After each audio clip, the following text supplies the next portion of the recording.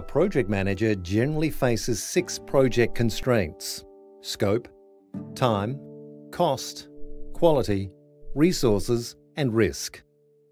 The project manager has to answer the following questions relating to each constraint to accurately estimate how long the project will take.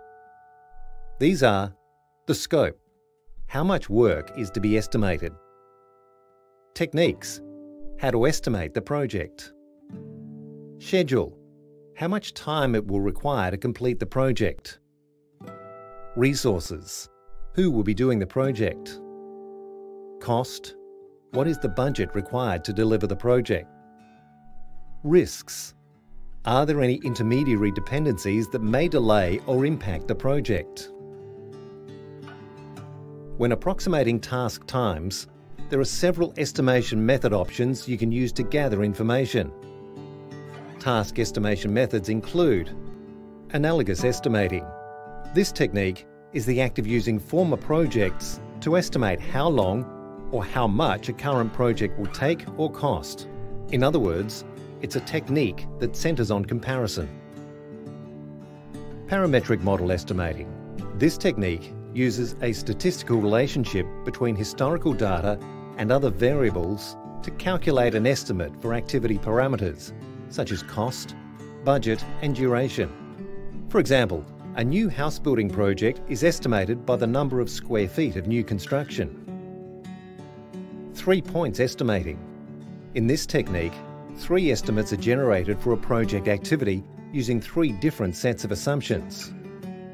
The first estimate is a best case estimate. The second estimate is a worst case estimate. The third estimate lies somewhere between the other two. These estimates are developed using one of the previous techniques, such as an analogous or parametric model. Expert judgment estimating. In this technique, an expert is engaged to create an estimate based upon their understanding of a project's duration and the resource effort required. Whether a project is large or highly complex, project estimates are created in this fashion. Vendor bid analysis. This technique engages the vendor or contract of work to estimate timelines. Vendor bid analysis assumes vendors can effectively estimate timelines as they calculate the work for multiple projects at regular intervals. The vendor will conduct an assessment on the assumptions in the project. An evaluation is then made by the project team on each vendor bid in order to determine the range of costs associated with task duration and resource effort. Reserve analysis. This technique is risk adverse and sets aside resource and time for the possibility of a project requiring more resources than initially planned. Reserve analysis considers the level of uncertainty and risk in a project and establishes a reserve pool of time and resources that can be drawn upon to offset any issues that arise that were not included in the estimated time. Bottom-up analysis.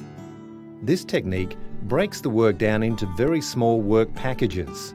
Bottom-up analysis works on the theory that the smaller the project activity, the easier it is to estimate.